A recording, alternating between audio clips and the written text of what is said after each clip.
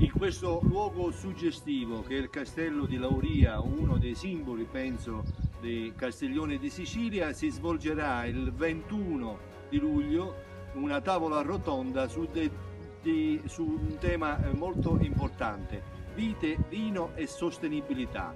Questo eh, posto, l'areale Etneo, è uno dei più bei posti della Sicilia dove si produce del vino eh, importante, un vino che in questi ultimi tempi sta conquistando il mondo.